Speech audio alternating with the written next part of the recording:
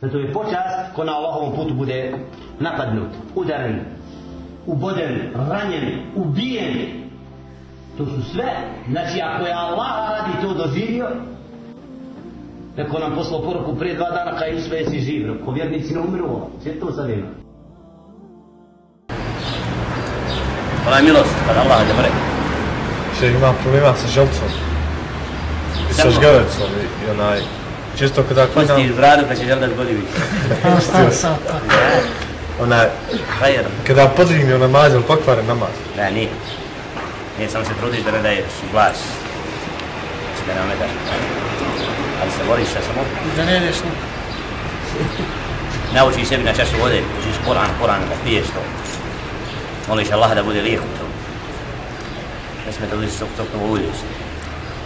Ona mora biti od sihra, mora biti nečega u samalku. Čovjek ne unese od hrane koja. Ili na kraju krajeva svaka bolest je čišći, tahor. Če znači, Allah hoće roba da očisti. Od greha, saboriš na tamo da imaš nagradu. U ibadetu, što budeš jači, inša Allah. Znači, Allah subhanahu wa ta'ala prije te slobodi toga. Namaz, učenje Kur'ana, ustrajavati. Znači, da šeitanu smeta to što se, Kaže, svaki od vas koji, koji krene da uči dij, sa Allahom pokoravaš, iblis svoju vojsku šalje da vas napada na slaboj taci koja je kod vas. Da li putem strasti, da li putem ovoga, sam da te odvrati od pokornosti Allahom.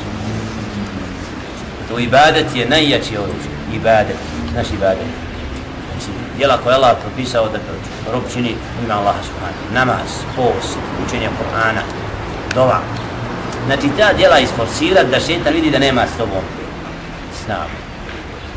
Onda ti postane se ibadet drag, a sve ove stvari dnjalučke, znači šetan ne može da kasnije lako prelaziti tu.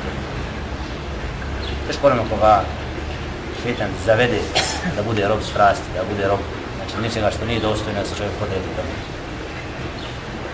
A samo ibadet, ako osjetimo i proniknemo u slast ibadeta, onda nam sve druge stvari postaju periferne.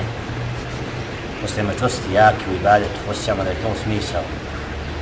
Da čovjek postaje staložen, smiren, zadovoljan. Ko nema ibadet prema Allahu subhanahu wa ta'ala, onda robuje u dobila ispatka.